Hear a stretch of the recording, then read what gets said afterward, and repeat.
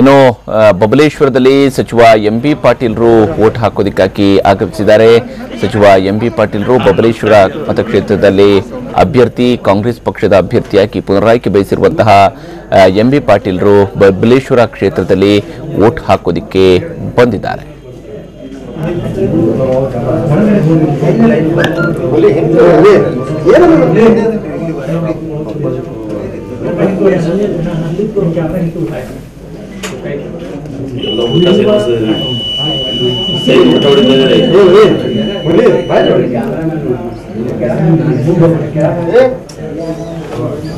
ಏ ಯೋನ ಈ pi camera ಇದು ಹುಲಿ ಯಾರು ಮುಂದವರ?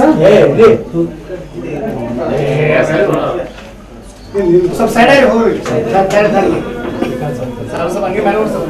ಸರ್ ಮುಖ ಮೇಲೆ ಮಾಡಿ ಸರ್ ಇನ್ನು ಹಾನಗಲ್ನಲ್ಲಿ